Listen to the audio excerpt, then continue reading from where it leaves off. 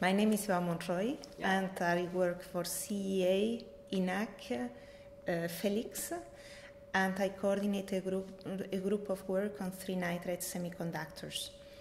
Um, we focus on the work on gallium nitride. Gallium nitride is, is a semiconductor that is at the base of the optoelectronic revolution that happens at the beginning of this century. Gallium nitride is at the origin of uh, devices like the blue LED, uh, the blue laser that is used in the Blu-ray technology, the white LED that we use today as a replacement of the bulb for general lighting, or um, the uh, LEDs that are used in TV sets. Our target is to bring this semiconductor to the limits of uh, its capabilities by combining the properties of this semiconductor with the advantages of reducing the size of the structures to the nanometer scale. So with this, we target two spectral ranges that are the ultraviolet and the infrared. And uh, in these domains, we have different kind of approaches.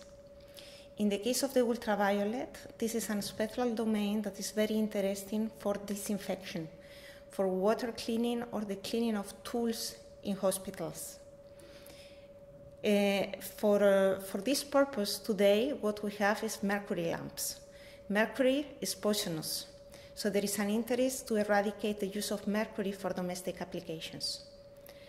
Today, there is no alternative uh, in terms of solid state devices to the mercury lamp, and we are working using gallium nitride quantum dots as an approach to replace these lamps.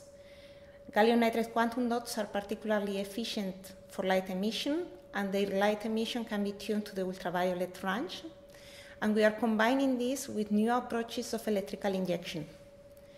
So, with this, we plan to uh, fabricate prototypes of lamps that can compete in terms of efficiency and in terms of price with the mercury lamp.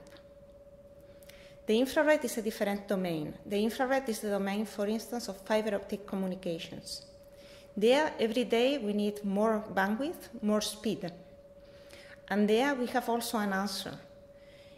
Working with quantum wells or with quantum dots, the uh, electronic transitions that happen in the conduction band of nanostructures are particularly fast. They are in the femtosecond range, which is 1,000 times faster than current technologies. So our idea is to develop devices that can switch at a speed that can grant uh, a new uh, technology for the terabit per second uh, communications. We can go further than that. We could create a technology that covers the whole infrared range. Also, the mid infrared that is interesting for domains like night vision, or the far infrared that is interesting for security screening.